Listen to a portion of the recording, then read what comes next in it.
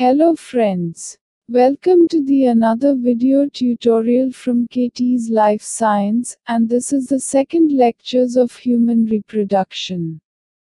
In this video we are going to talk about a very important topic that is structure of testis and the process of spermatogenesis.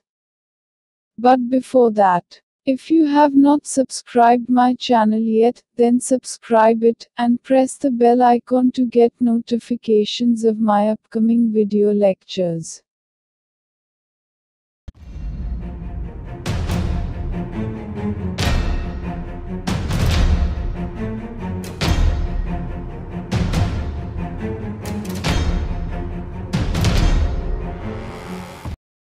Okay, so, without wasting time let's get started. In previous lecture, we have discussed the primary and secondary sex organs. As we all know, the testes are directly involved in the process of spermatogenesis. So it is known as primary sex organ in male reproductive system. Now let's see the structure of testis. In this diagram, you can see the outer view of the testis along with the epididymis. Epididymis opens into convoluted tubules called vas deferens. Testicular arteries and veins are also observed in this diagram, which is helpful in testicular blood supply. In adults, each testis is oval in shape, with a length of about 4 to 5 cm and a width of about 2 to 3 cm. Weight of each testis is nearly 14 grams. You can see the another diagram of testes along with the folded scrotum. Ductus deferens, spermatic cord, and epididymis. The outermost layer of the testes is known as tunica albuginea.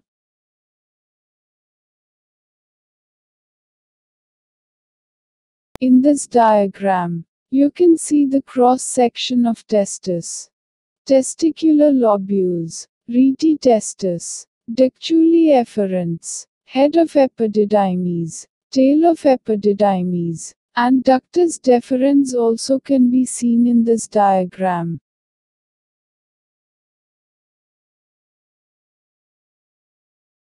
Another cross section of testes is given over here. You can clearly see that the testis covered by three layers.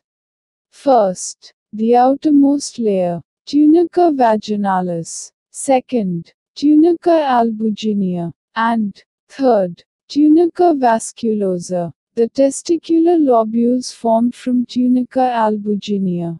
Each testicular lobules contain seminiferous tubules. The seminiferous tubules opens into rete testes through the tubuli recti.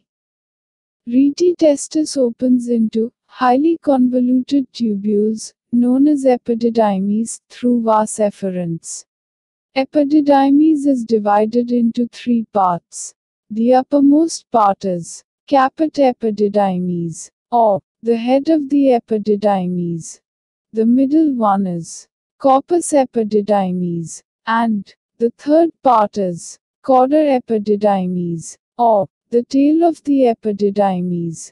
Epididymis opens into vas deferens, the testis is covered by a dense covering called tunica albuginea. Each testis has about 200 to 250 compartments called testicular lobules. Each lobule contains 1 to 3 highly coiled seminiferous tubules, in which sperms are produced.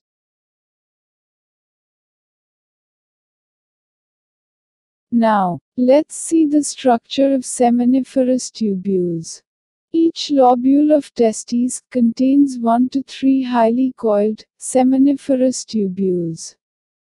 Length of one seminiferous tubule is 70 cm.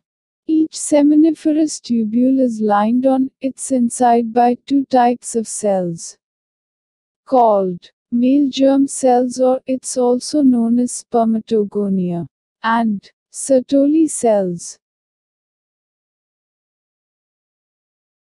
Here, and another, beautiful diagram of the cross-section of testes is given, for the better understanding of its compartments and different tubules.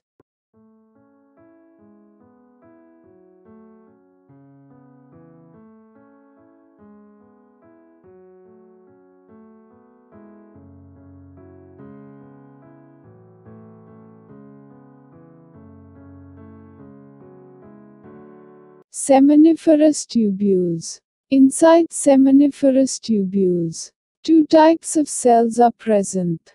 First, germinal cells called spermatogonia, and second, somatic cells called Sertoli cells. The male germ cells undergo meiotic divisions, finally leading to sperm formation. While Sertoli cells provide nutrition to the germ cells, the regions outside the seminiferous tubules, called interstitial spaces, contain small blood vessels and interstitial cells or Leydig cells. Leydig cells synthesize and secrete testicular hormones, called androgens.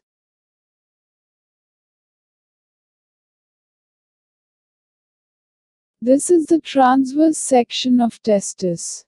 In this diagram, you can clearly see the seminiferous tubules containing spermatogonia and Sertoli cells. Interstitial cells are present outside of the seminiferous tubules.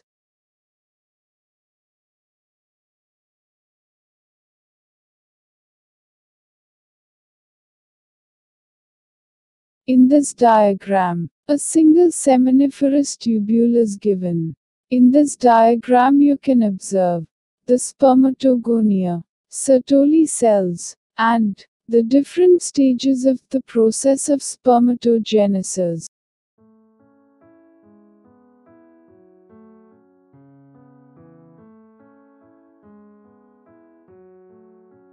For better understanding, more diagrams of seminiferous tubules are given over here. Please observe these diagrams carefully.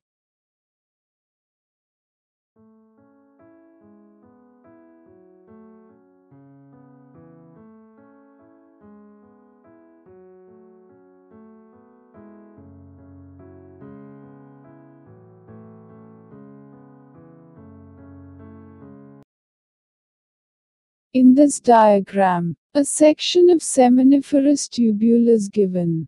In this diagram you can observe the interstitial cells, the spermatogonia, Sertoli cells, lumen of the seminiferous tubule, and different stages of the process of spermatogenesis, like primary spermatocytes, secondary spermatocytes, and spermatids. We will discuss the process of spermatogenesis later.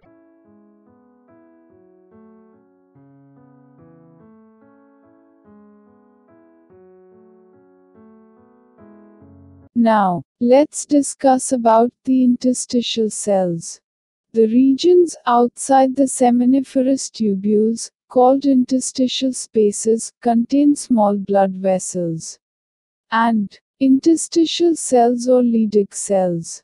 Leydig cells synthesize and secrete male sex hormones called androgens.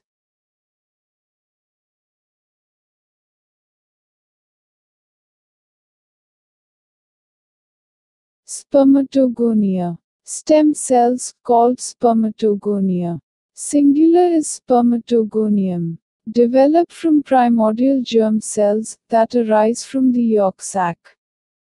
These enter the testes during the fifth week of development. In the embryonic testes, the primordial germ cells differentiate into spermatogonia, which remain dormant during childhood and actively begin producing sperm at puberty. Toward the lumen of the seminiferous tubule are layers of progressively more mature cells. In order of advancing maturity, these are primary spermatocytes, secondary spermatocytes, spermatids, and sperm cells. After a sperm cell has formed, it is released into the lumen of the seminiferous tubule. This process is known as spermiation. The plural terms are sperm and spermatozoa.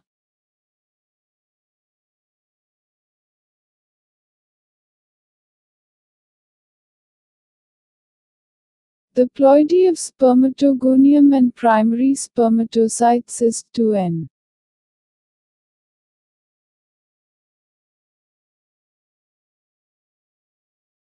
Sertoli cells or sustentacular cells. These extend from basement membrane to lumen of tubule. These are also called nourishing cells. An enlarged view of a single Sertoli cell is given over here. Kindly observe it carefully.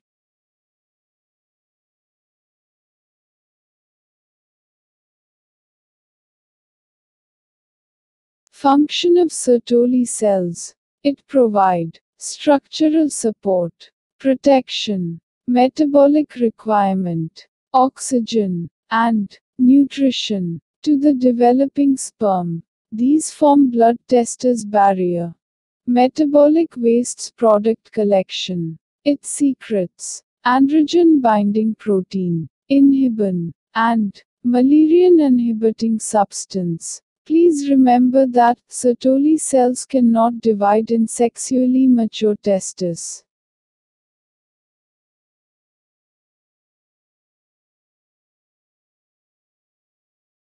Androgen binding protein, or ABP. It binds with androgens and maintain their high concentration inside seminiferous tubules. Inhibin it has negative feedback effect with the follicle stimulating hormone or FSH of anterior pituitary Mullerian inhibiting substance or MIS. It causes regression of Mullerian ducts in male embryos.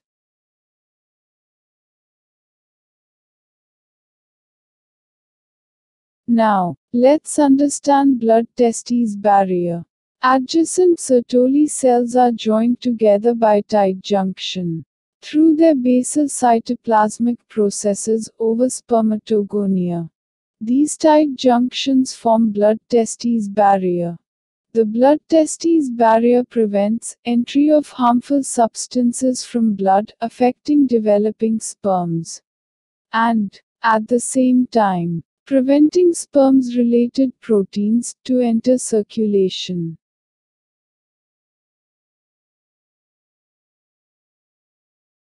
Tight junctions join neighboring Sertoli cells to one another and form an obstruction known as the blood testis barrier.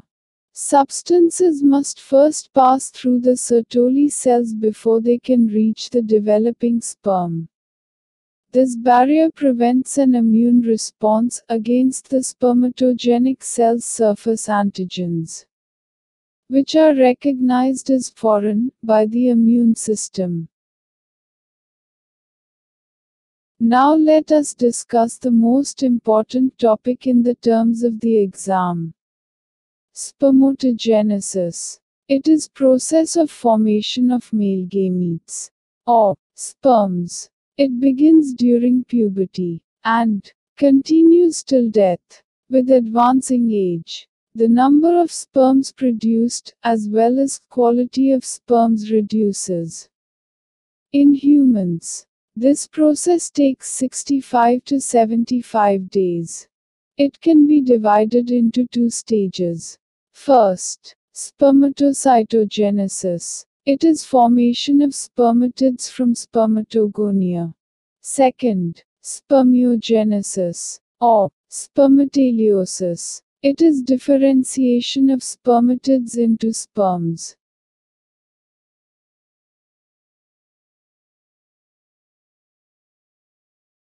Spermatocytogenesis. Spermatogonia multiply by mitotic division. Each spermatogonium is diploid and contains 46 chromosomes. Some of the spermatogonia called primary spermatocytes periodically undergo meiosis. A primary spermatocyte completes the first meiotic division leading to formation of two equal, haploid cells, called secondary spermatocytes, which have only 23 chromosomes each. Secondary spermatocytes undergo second meiotic division to produce four equal, haploid spermatids.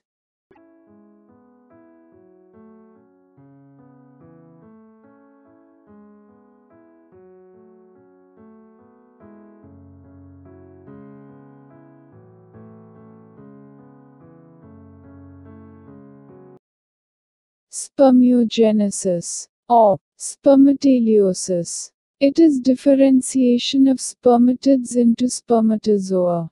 After spermiogenesis, sperm heads become embedded in the Sertoli cells and are finally released from the seminiferous tubules by the process called spermiation.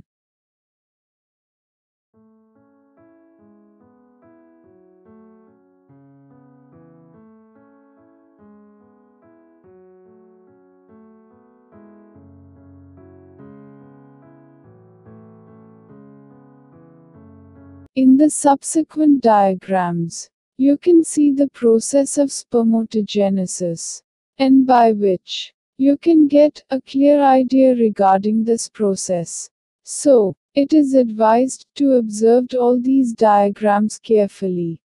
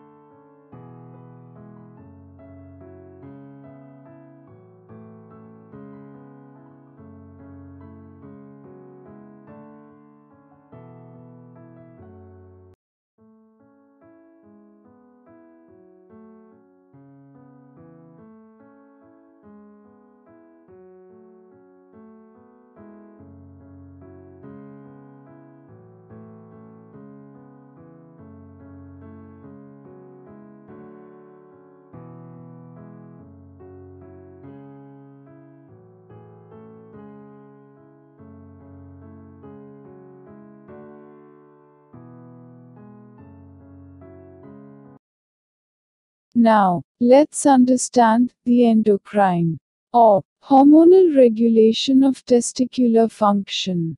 Spermatogenesis starts at the age of puberty, due to significant increase in the secretion of gonadotropin-releasing hormone.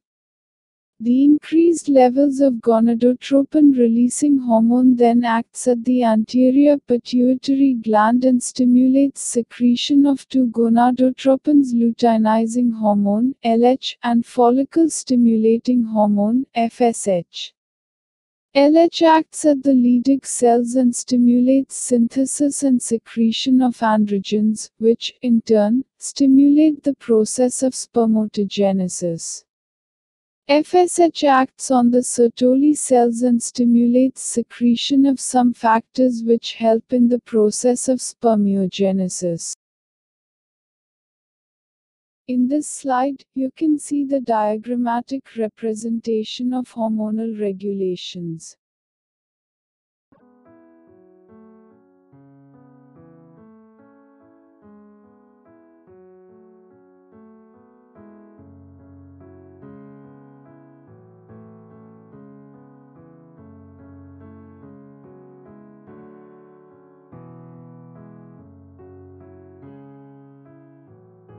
Don't forget to like, share and comment. Please subscribe my channel and press the bell icon to get notifications. Thank you for watching.